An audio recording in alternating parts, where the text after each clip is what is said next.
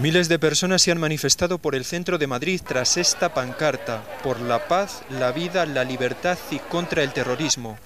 Durante aproximadamente dos horas, los asistentes han recorrido el poco más de un kilómetro que separa la Plaza de Colón de la Puerta de Alcalá.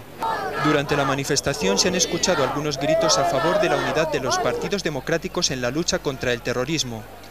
También han sido frecuentes las pancartas a favor de la paz, aunque prácticamente no se han visto carteles condenando la barbarie de ETA. Lo que sí se ha visto y oído han sido las críticas al Partido Popular, a la Asociación de Víctimas del Terrorismo y a la Iglesia. Además, había carteles apoyando la negociación y la política antiterrorista del gobierno de Zapatero. La única vía para la paz, la negociación, no hay más, no hay más, negociación. La idea de que eh, al terrorismo se le vence con la fuerza del Estado no es cierta. Llevamos 30 años y no hemos podido vencer al terrorismo. Al terrorismo hay que vencerle también con armas políticas.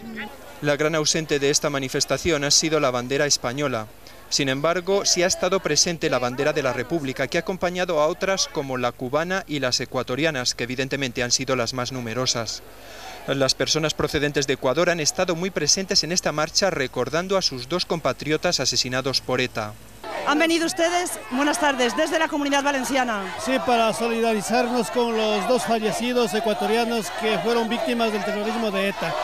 Quería darle las gracias a ustedes, los medios de comunicación, porque nos dan la oportunidad de expresarnos y sacar esta furia tan grande que te llevamos por dentro, llena de rabia y de dolor. Y por eso estamos esta noche reunidos en esta plaza para decirle no al terrorismo.